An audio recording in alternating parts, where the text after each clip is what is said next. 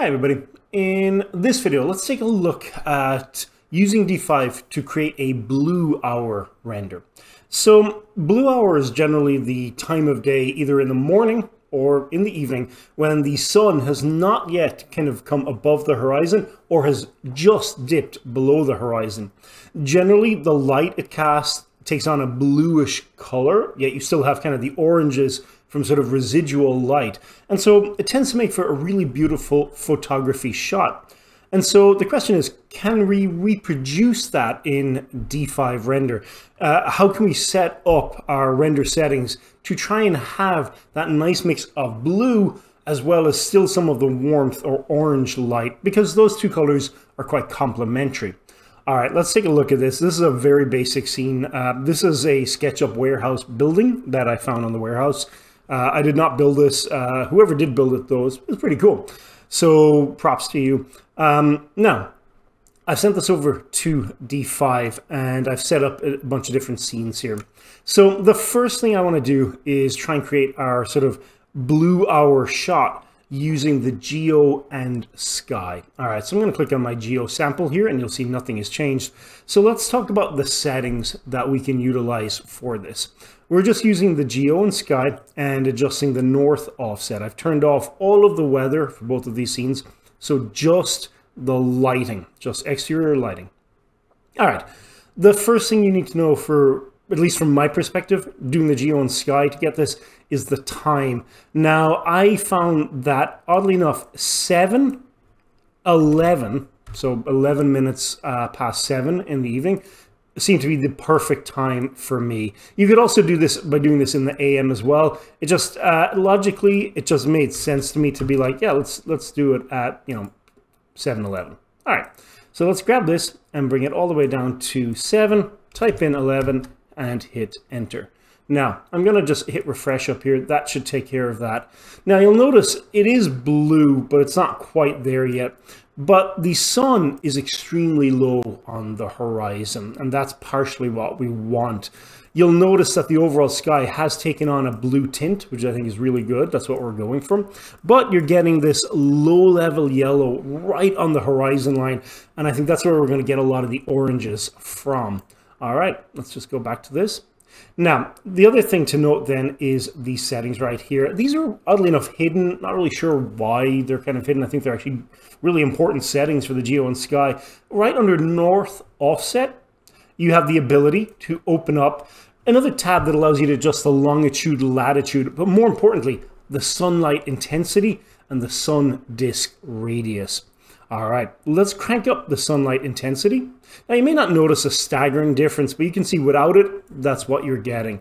So think of sunlight there as we're just dialing up that and I'm going to take this pretty much I think all the way up I think that looks good now the sun disk radius will determine the sharpness of the shadows in your scene and I have nothing in here that's really casting a huge amount of shadows so it's okay we'll just take the sun disk radius and we'll take it up as well. Let's put it about 10.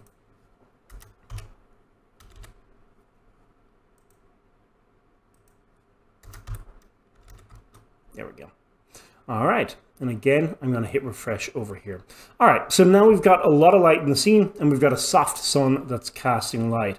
Now the next thing then is to go to the effects tab and I am going to turn off auto exposure and you can see the difference immediately. When we do that, the auto exposure is going to effectively add it's exposure, so it's supposedly how much light is coming into the actual camera, but we want to have control over this. I believe D5 tries to do sort of a very balanced approach that will allow for interior and exterior shots, but you do want to turn this off all the time. You want to have control over how much light is actually hitting the camera lens. All right, we can leave that off, and the exposure value right now is not too bad. Now, I am going to increase the highlights. And I'm going to make the shadows just a little bit darker. Uh, I usually find just 55 will work a little bit better.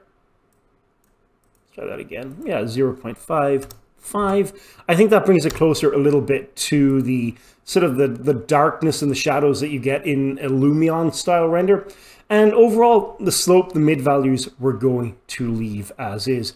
Now, the last thing we can do is adjust the white balance and just add, you can see the overall effect Taking it to the left adds more blue, taking it to the right adds more orange. And so we're gonna just move it just a little dash to the left, just a little bit. And when we do that, again, I think it's all all looking good. You can leave bloom on or leave it off. I usually turn it off. And then the last thing now is to tweak the exposure ourselves so we get the look that we're going for. And every shot is probably going to be different. You want enough brightness in there. I think that looks good. You could come in and adjust some of the other effects here. And there is also the uh, saturation slider that you could tweak if you wanted to get this look a little bit slightly stronger or a little bit more washed out. That's up to you. But even just adding a little bit more saturation, I think looks pretty good. Now, that's about as good as I think I can get this. Uh, maybe someone wants to comment in the comment section if you've got some good advice.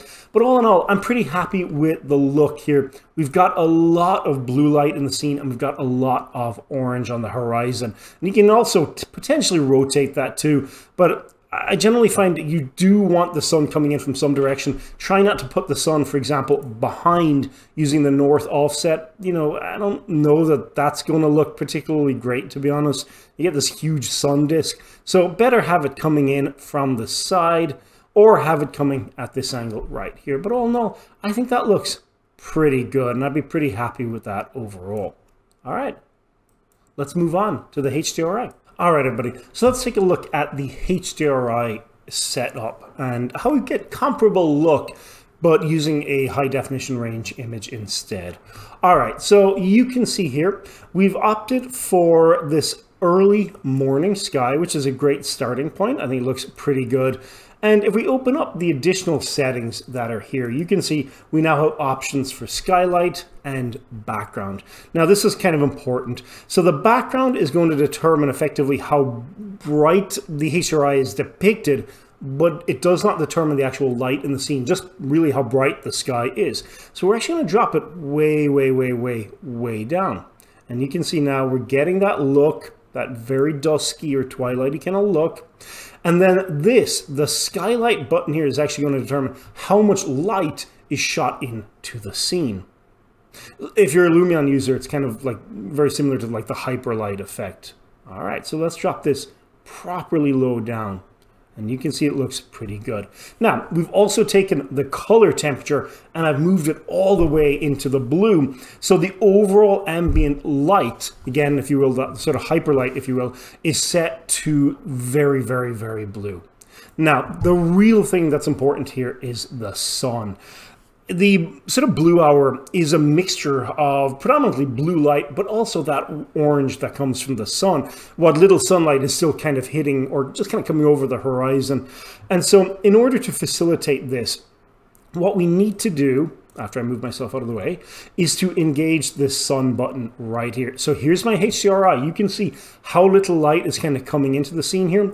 We need extra sunlight, but by default, the turning on the sun with the HDRI enabled is set to follow HDRI. So what D5 does is it looks for the brightest pixels in your HDRI image and turns that into effectively the sun. That's where it positions the sun. So that means that if you rotate your HDRI a little bit, the sun will kind of follow. We don't want that. We actually want this orange light kind of coming from a different direction. And so I've turned on the sun I have cranked up the sun disk radius, so again, you want as soft a shadow as you can possibly get. And I have controls here for the sunlight intensity. You can see if I take it all the way to the right, it's super, super bright. It blows out the image a little bit. So drop it quite low. Again, this is the merest hint of sort of yellow-orange light coming in. And then all you need to do is tweak the azimuth, which is really just the direction the sun is coming from, and uh, just ignore the altitude and just try and get it where it falls nicely on the building.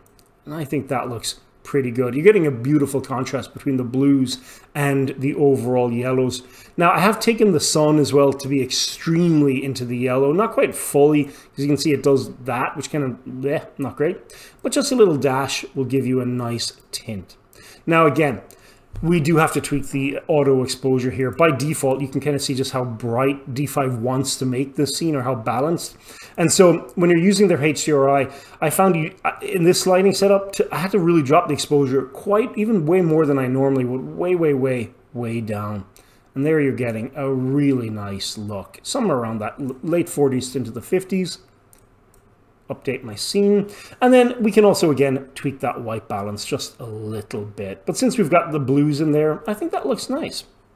All right, with that being said, I think that will give you a good starting point using either the Geo and SkyState system or using the HDRI system. Let's go ahead and take a look at uh, some of the finished results.